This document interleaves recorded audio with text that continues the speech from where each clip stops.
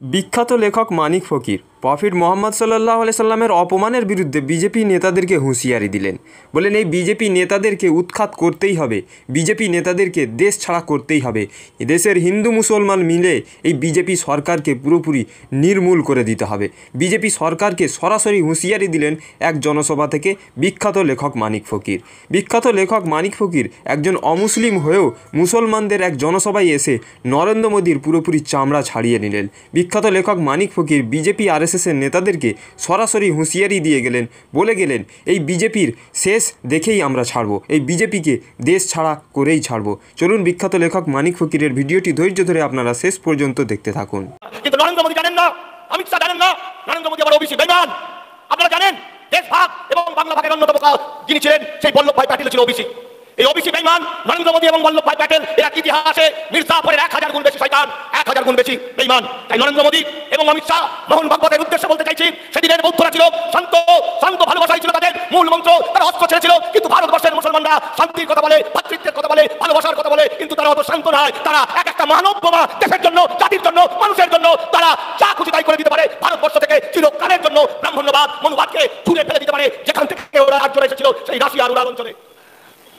আজকে বেশ কিছুদিন ধরে আপনারা যেভাবে শোকাতুর হয়ে আছেন নবীর অপমানকে কেন্দ্র করে, আজকে সারা নবীজি বিশ্ব নবী শুধু ভারতবর্ষের নয়, বিশ্ব নবী শুধু মুসলিম ধর্মাবলম্বী মানুষের জন্য নন, বিশ্ব নবী পৃথিবীর পৃথিবীর মানুষের, সর্বকালের সর্বশ্রেষ্ঠ মহামানব বিশ্ব নবী হজরত মোহাম্মদ।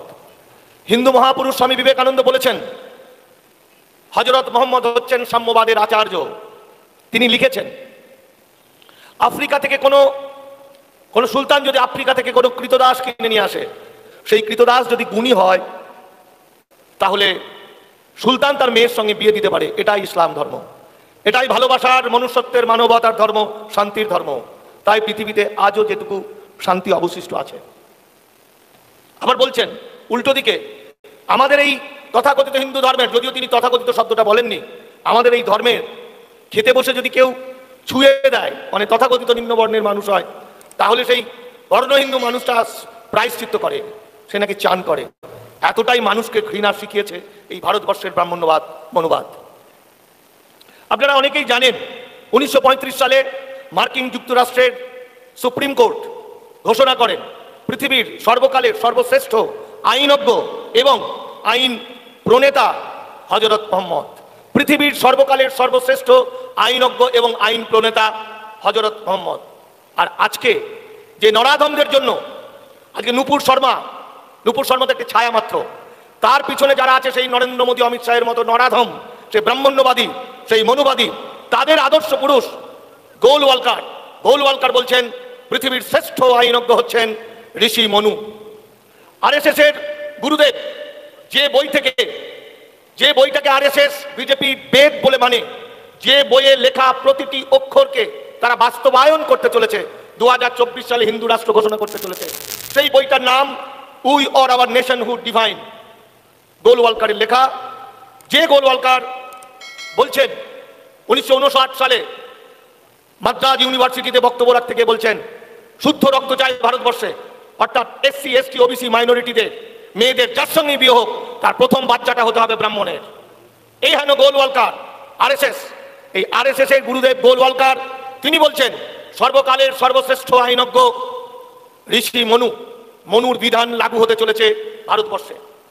যে মনুর বিধান নিয়ে জার্মানির অ্যাডলফ হিটলার পাঞ্চ কাটের মাধ্যমে, আমাদের যেমন আধার কার্ডের মাধ্যমে ধরা হবে, সেরকম হিটলার পাঞ্চ কাটের মাধ্যমে ইহুদিদের ধরে ষাট লক্ষ ইহুদিকে হত্যা করেছিল গ্যাস চেম্বারে ভরে।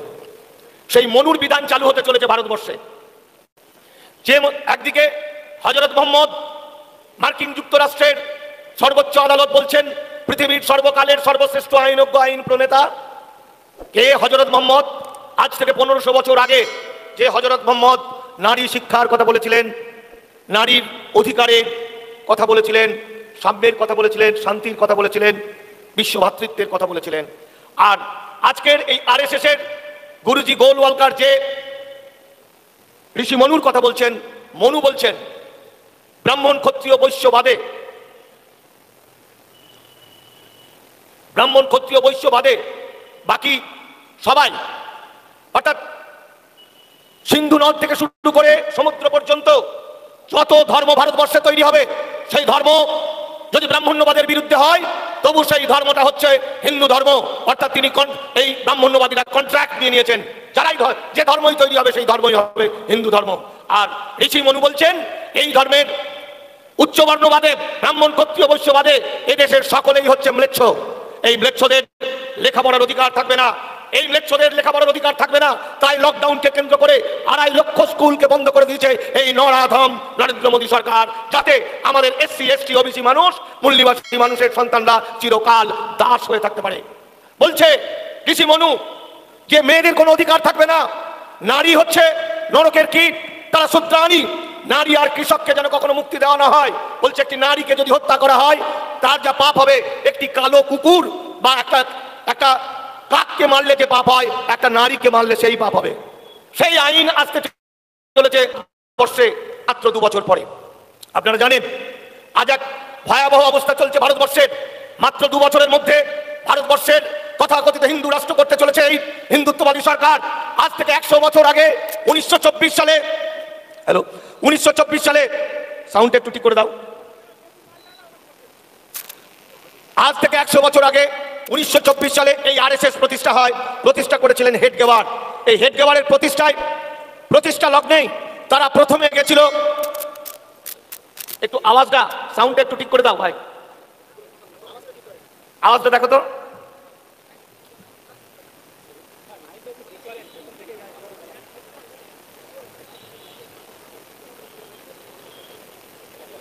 হ্যালো হ্যালো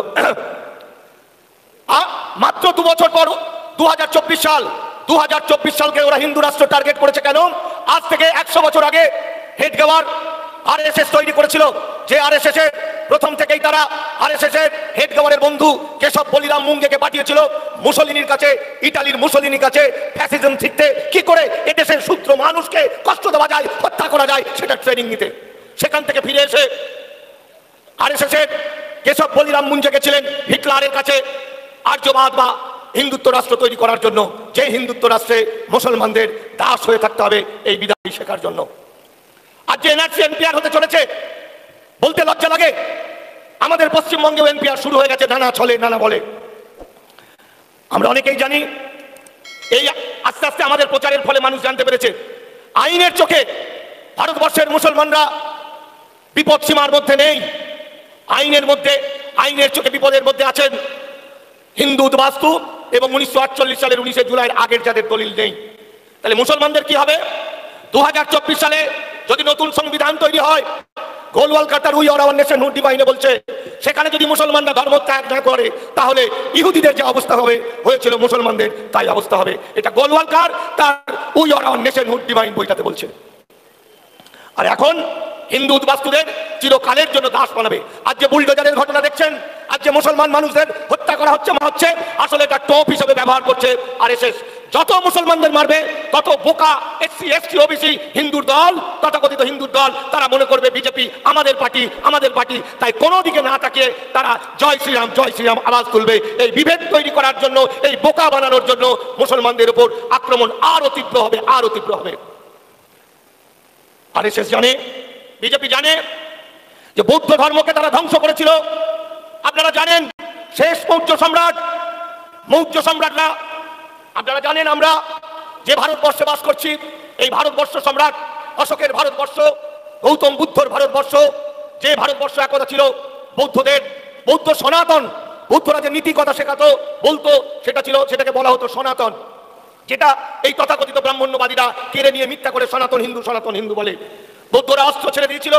বৌদ্ধরা তাদের ঘোড়াকে, হাতিকে যে জলটা দিত, সেই জলটাও ছেঁকে খাওয়াতো। ভাতৃত্ব শান্তি ছিল তাদের মূল কথা, শিক্ষা ছিল তাদের মূল কথা। মৌর্য সম্রাট শিশু বৃহদ্রত, মাত্র আট না ন বছরের বাচ্চা মৌর্য সম্রাট। সে যুগে মৌর্য সম্রাটরা বছরে একদিন প্রধান সেনাপতিদের গার্ড অব অনার অনুষ্ঠান করত, পুরস্কৃত করত। এবং ভুলবশত এই দেশের অনার্যরা সবসময় ভুল করে বসে, কারণ তারা অনেকটা উদার মানুষ। তো মৌর্য যারা, মৌর্যরা তো অনার্য, আমাদেরই পূর্বপুরুষ। সেই অনার্য তাদের সেনাপতি ছিল পুষ্যমিত্র শুঙ্গ একজন ব্রাহ্মণ।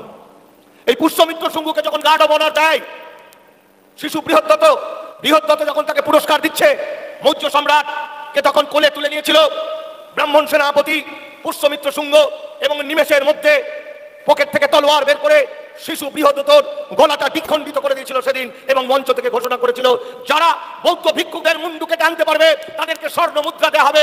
সেদিন প্রায় সাত লক্ষ বৌদ্ধ ভিক্ষুর গলা কেটে নদীতে ভাসিয়ে দিয়েছিল এবং বৌদ্ধ ভিক্ষুকিনীদের, যাদের যারা সনাতন ধর্মের কথা নীতি কথা শেখাতো, সেই মেয়েদেরকে ধরে বলাৎকার করে, গ্যাং রেপ করে, তারা মন্দিরের মধ্যে পুরোহিতরা অত্যাচার করে করে তাদেরকে দেবদাসী বানিয়ে রেখেছিল।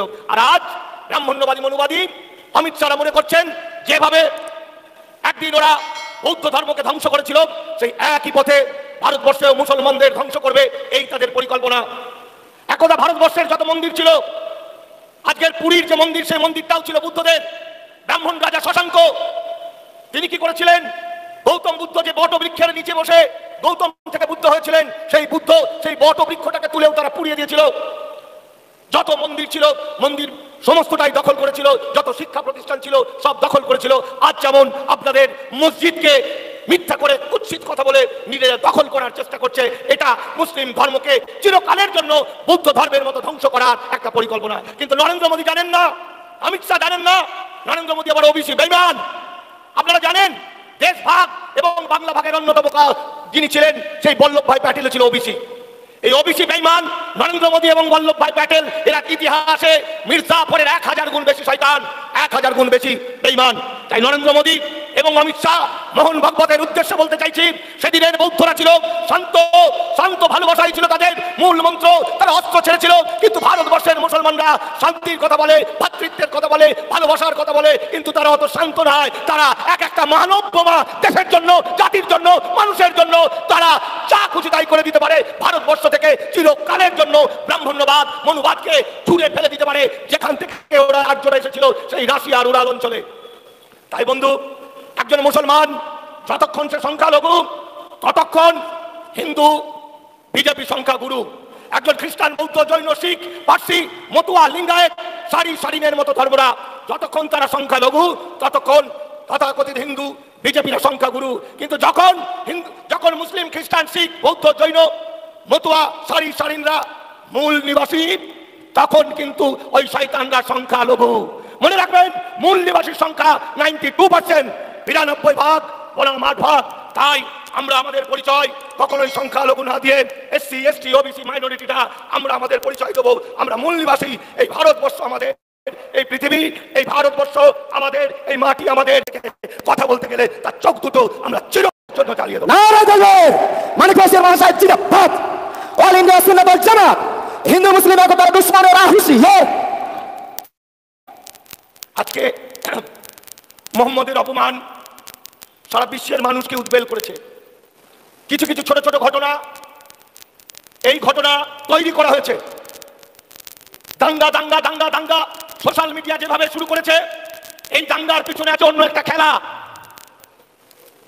এই দাঙ্গার পিছনে আছে অন্য একটা খেলা, যার বেশিটাই নাটক। বিজেপি, আরএসএস কৌশল করে এই দাঙ্গার পরিবেশ তৈরি করেছে। তাই বন্ধু, সংযত হয়ে যেভাবে আপনারা সবসময় প্রতিবাদে মুখর হয়ে ওঠেন ঠিক সেই শান্তভাবে ভারতকে বাঁচাতে, বাঙালিকে বাঁচাতে, আগে ইতিহাসে যেভাবে বারবার আপনারা, আপনাদের ধৈর্যের, আপনাদের ভালোবাসার পরিচয় দিয়েছেন, আজকেও তাই দেবেন, আমি আশা করি।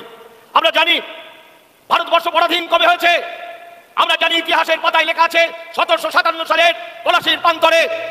পলাশির প্রান্তরে সতেরোশো সাতান্ন সালে ভারত পরাধীন হয়েছে। তাহলে ভারত স্বাধীন কবে ছিল? না, ভারত স্বাধীন ছিল তার আগের সময়টা। আগের সময়টা কাদের ছিল? মুসলমান পরিচালিত, তাই মুসলমান পরিচালিত যুগটাকে ভারতবর্ষের স্বাধীনতার যুগ ছিল। স্বাধীন কারণ ইসলাম সেই শিক্ষায় দিয়েছে, ইসলাম ভালোবাসা, সেই মনুষ্যত্ব, সেই বিবেক, সেই মানবতার কথা বলেছে। এই বলে সকলকে ভালোবাসা জানিয়ে শ্রদ্ধা